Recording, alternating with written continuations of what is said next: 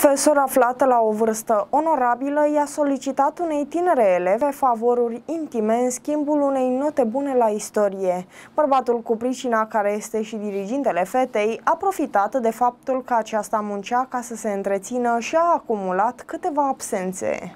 Conform mesajul.ro, acesta i-a dat de înțeles în mod direct că ar putea avea probleme cu promovarea și intratul în BAC. Dacă nu se conformează, informează realitatea. Eleva lucră la o cofetărie pentru a câștiga câțiva bănuți în plus. Profesorul a contactat-o de mai multe ori pentru a discuta despre nota la istorie care nu era prea bună. Fata i-a spus că se va prezenta a doua zi pentru a da un nou test sau pentru a face un referat, așa cum s-au mai procedat. Profesorul însă i-a transmis tinerei că trebuie să susțină un alt fel de test, respectiv unul în pat. Fata nu a înțeles exact despre ce este vorba, iar profesorul a lămurit-o imediat, spunându-i că trebuie să susțină testul cu picioarele desfăcute. Este vorba despre un profesor și un colegiu care pregătește viitoare cadre didactice. Fata a avut inspirația să înregistreze convorbirea cu profesorul și a mers direct la poliție. În timp ce se afla în sediul poliției, dirigintele a sunat-o din nou pe Ana și a întrebat-o dacă s-a mai gândit la propunerea sa. I-a dat și un ultimatum, spunându-i că așteaptă un răspuns din partea ei în cursul zilei respective. Văzând că eleva nu acceptă, i-a transmis acesteia că mai are o variantă. Pot întreține doar acte sexuale orale, nefiind necesar ca aceasta să se dezbrace, iar a amintit că doar așa se poate înscrie la bacalaureat, conform probelor depuse la dosar. Profesorul a fost reținut pentru 24 de ore. În fața probelor, cadrul didactic a recunoscut și a regretat comiterea faptelor de care este acuzat, menționând că vrea să rămână la catedră. Pus sub acuzare pentru folosirea funcției în scop sexual, cadrul didactic a contestat decizia în instanță, solicitând